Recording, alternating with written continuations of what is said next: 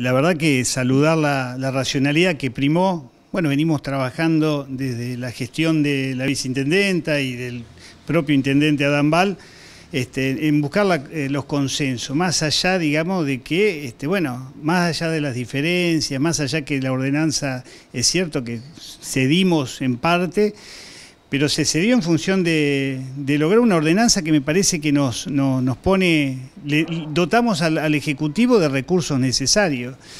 Hoy hablamos en el recinto que nosotros teníamos dos objetivos fundamentales cuando se, se asumió. Uno era ordenar las cuentas y las finanzas y después eh, restablecer los servicios y mejorar los servicios públicos. Mayo nos, nos, agarra la pandemia, digamos, nos aparece este flagelo mundial, paraliza la planificación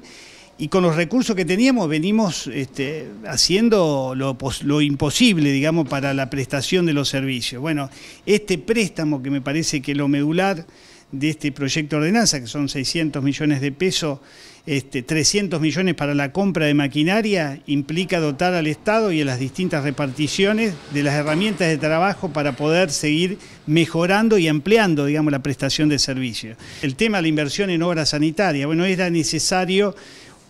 un préstamo un préstamo de 300 millones de pesos para comprar más este, maquinaria y poder dar respuestas urgentes, más ágiles, en distintos lugares que hoy el vecino de Paraná tiene, la rotura de caño, la cloaca, este, seguir con el plan intensivo de bacheo, el tema, el tema, digamos, de la recolección de servicio y la problemática del agua. Bueno,